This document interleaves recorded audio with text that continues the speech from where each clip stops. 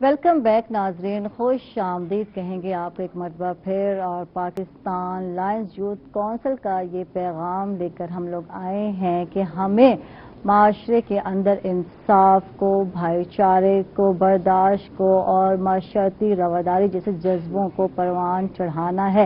इस सिलसिले में हमारे साथ गेस्ट भी हैं। मैं चाहूँगी कि उनका तारुफ कराऊं और उसके बाद उनसे इस सिलसिले में बात भी करेंगे कि माशरे में रवादारी को कैसे फरोग किया जा सकता है फरोग दिया जा सकता है और कैसे परवान चढ़ाया जा सकता है। हमारे साथ है रफीक कुरेशी साहब है जर्नलिस्ट हैं इनको वेलकम कहेंगे खुश आमदीद कहेंगे। कैसे हैं आप? जी अल्लाह का बहुत मेहरबानी आप। तबीयत कैसी है जी तबीयत ठीक है। थैंक यू आप तशरीफ़ लाए और हमारे साथ हैं फादर जमशेद इनको भी वेलकम कहेंगे खुश आमदीद कहेंगे। कैसे हैं फादर आप? मैं बिल्कुल ठीक हूँ तबीयत कैसी है बिल्कुल ठीक, अच्छा मैंने पूछे पूछा नहीं खुद ही कह रहे तंदुरुस्त हैं तो अगला सवाल मेरा यकीन यही था। हाँ। कि यही क्योंकि कोरोना की वबा में तो बंदा सेहत के हवाले से एक पहला सवाल करता है कि तबीयत कैसी है आपकी? हाँ और अल्लाह का शुक्र है आप बिल्कुल हाँ ठीक है। तो रफीक कुरैशी साहब आपसे ही बात का आगाज़ करते हैं और जानते हैं कि माशरती हकूक और माशरती इंसाफ का अमन से कितना गहरा ताल्लुक है ये बताइए आप। बिस्मिल्लाहिर्रहमानिर्रहीम। सबसे पहले मैं पाकिस्तान लाइन यूथ काउंसिल का और फिर रोही चैनल का शुक्रगुजार हूँ कि जिन्होंने आज इंतहाई अहम मौजू पर गुफ्तु करने का और अपने ख्याल का शेयर करने का आपने मौका बख्शा। असल में मुआशरा जिस तरह कहा जाता है कि मुआशरा नाम है मिलजुल के रहने का। और जब हम मिलजुल कर रहते हैं तो फिर हमारी खुशियाँ हमारी गमी हमारे मसाइल हमारी तरक्कियाँ हमारी खुशहाली वो सब साझी होती हैं। हर माशरे के अंदर इंसान को उसके हकूक दिए जाते हैं। और जिस माशरे में इंसान को हकूक ना दिए जाए फर्द को उसका हक ना दिया जाए वहाँ फिर मसाइल जन्म लेते हैं। और वो जो मसाइल होते हैं उन मसाइल की नोयत क्या होती है? हम्म, उनकी नोयत इख्तलाफा से शुरू होती है। झगड़ा तनाज़ा कत्ल गारत और खून रेजे तक मामला बढ़ जाता है। अब इस नाइंसाफ़ी को रोकने के लिए मैंने अपनी सतह पे क्या करना है? इदारों ने क्या करना है? हुकूमत ने क्या करना है? ये हम सबकी एक इज्तिमाही ज़िम्मेदारी है। हम्म, इदारे उस फर्द को इंसाफ फराम करें। और खुद जो फर्द है वो अपने उन फ़राइज की अदायगी के लिए जो से रियासत ने उस पर तफ्यूज़ किए हैं उनको अदा करे। हम्म, जब कोई शहरी मुआशरे के अंदर हकूक पूरे करता है हुकूमत उसको फ़राइज सौंपती है। और वो उन फ़राइज की बजावरी में जब वो मुकम्मल होता है तो फिर उसको रियासत की ज़िम्मेदारी है कि फिर वो उसको इंसाफ फराम करे। वो इंसाफ माशरती इंसाफ है वो इंसाफ उनका माली इंसाफ है वो इंसाफ उनकी ज़िंदगी के तहफ़ की सूरत में है। हम्म, जब एक फर्द को उसको ये इंसाफ मुहैया हो जाएगा तो फिर मुआशरे के अंदर अमन आएगा। माशरे के अंदर ठहराव आएगा। मुआशरे के अंदर जो एक भाग दौड़ शुरू हो चुकी है उसके अंदर ठहराव आने की सूरत में मुल्क तरक्की करेगा। और मुल्क तरक्की करेगा तो इसका मतलब ये कि हर फर्द खुशहाल होगा। इसलिए हमें मुआशरती तौर पर रवादारी को फ़रोग दे के देने के लिए हर फर्द को अपनी ज़िम्मेदारी निभानी चाहिए। फर्द को अपनी सतह पर हुकूमत को अपनी सतह पर और हमारे रियासती इदारों को अपनी सतह पर।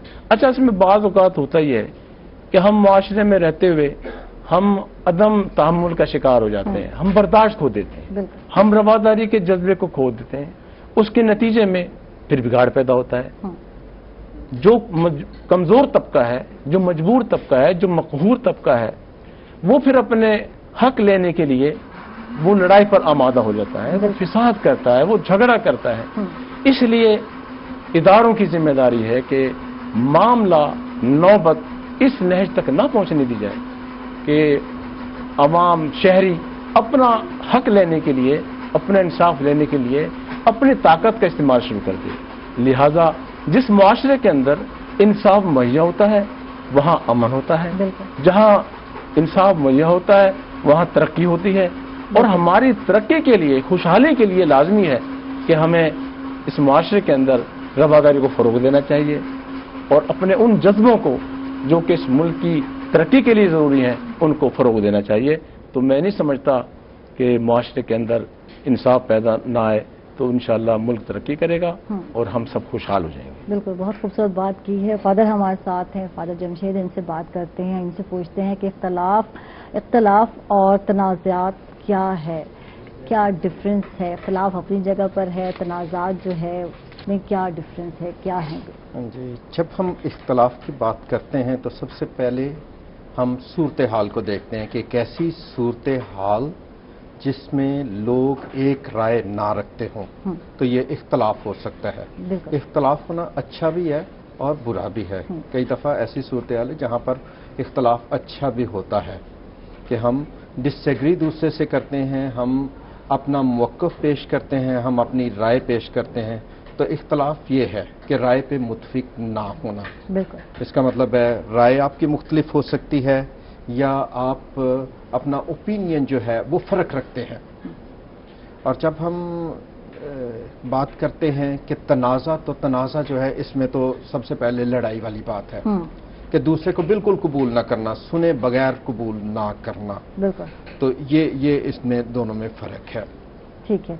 अच्छा इख्तलाफ तो आपस में हम अगर बात करते हैं तो घर में भी एक दूसरे को होता है, बहन भाइयों में होता है, बहुत सारी चीज़ें हैं जिस पर हमें इख्तलाफ होता है। और इसको जो है, मेरा ख्याल एक बेहतर जो है बहस से या एक कहते हैं ना दलील से हम जो है, उस चीज़ को डिफाइन कर सकते हैं कि ये ये चीज़ है और समझाया जा सकता है। लेकिन जब माशरे की हम बात करते हैं और इख्तलाफ की बात करते हैं सोशल मीडिया पे इख्तलाफ हो रहा है, कभी कभी किस बात पे हो रहा है तो कभी सियासी है, कभी समाजी है, कभी मजहबी इख्तलाफ नज़र आता है तो फिर जो है इसमें जब हम लोग बहुत ज़्यादा कहते हैं ना, अदम बर्दाश्त का सबूत देते हैं तो फिर तनाज़ात जाकर कहीं जन्म लेते हैं।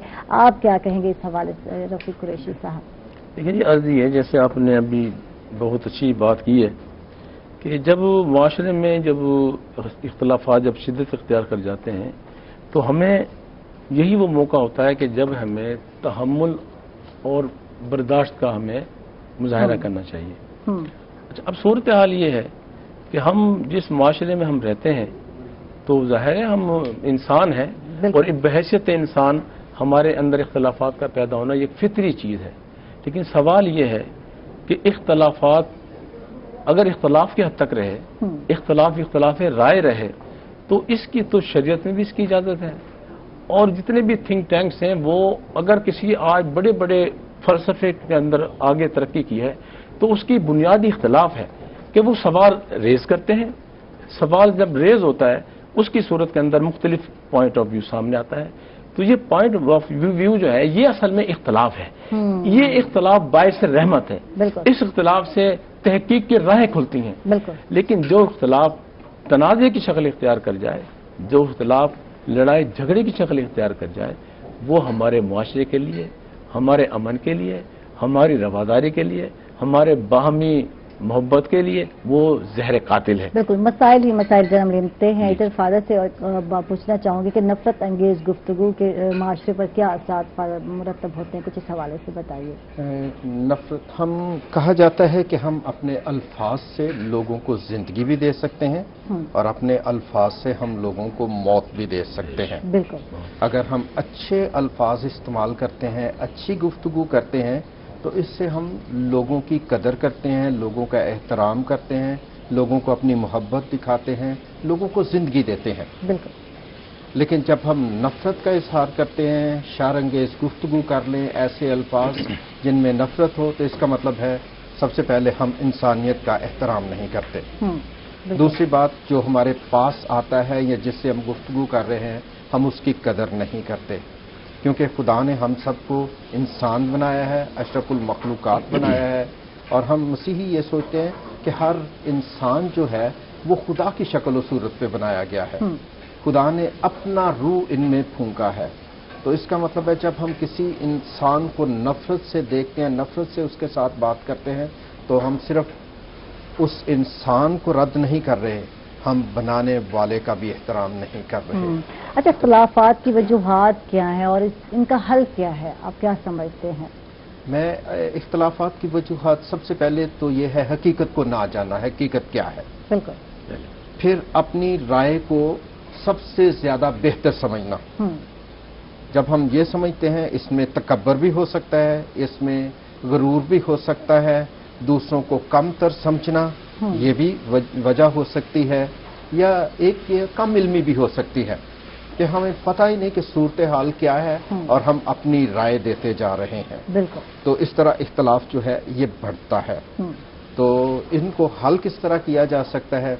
जिस तरह मैंने शुरू में कहा कि इनको हम हल इस तरह कर सकते हैं कि हम दूसरों का एहतराम करें। बिल्कुल। दूसरों का हक जो है जिस तरह क्रेशी साहब ने बात की थी कि हम मुआशरे में दूसरों को हक दें दूसरों को बोलने का हक है दूसरों को अपनी राय देने का हक है। हमें उन्हें तसल्ली के साथ सुनना चाहिए बर्दाश्त के साथ सुनना चाहिए और अपनी राय उन पर ठूंसनी नहीं चाहिए। बिल्कुल हमें दूसरों को सुनना चाहिए। इसका सबसे बेहतर हल तो ये है। दूसरा ये है कि हमें अपनी राय को कायम रखना चाहिए। हम्म, लेकिन दूसरों की सूरत हाल को भी देखना चाहिए वो किस सूरत हाल से बोल रहे हैं। बिल्कुल। उनके प्रॉब्लम्स क्या हैं जिस तरह वो जिसमें वो अपनी राय दे रहे हैं? उनका बैकग्राउंड क्या है? उनकी मुआशी सूरत हाल क्या है? उनकी समाजी सूरत हाल क्या है? वो किस इलाके से आए हैं? इस चीज़ों इन चीज़ों का ख्याल रखना ठीक चाहिए है थैंक यू जी। बहुत बहुत शुक्रिया फारूक जमशेद हमारे साथ रहे। आपका बहुत बहुत शुक्रिया। आप तशरीफ़ लाए और बाजिन हम लोग जा रहे इस टाइम छोटे से वक्त पर। कहीं मत जाइएगा हमारे साथ रहिए।